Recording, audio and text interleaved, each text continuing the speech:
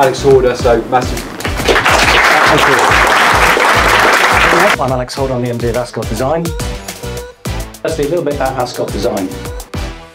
We covered about 80% of the Wentworth estate in the last decade, um, about 400 homes over there. And I like this bit, we wanted to disrupt the industry.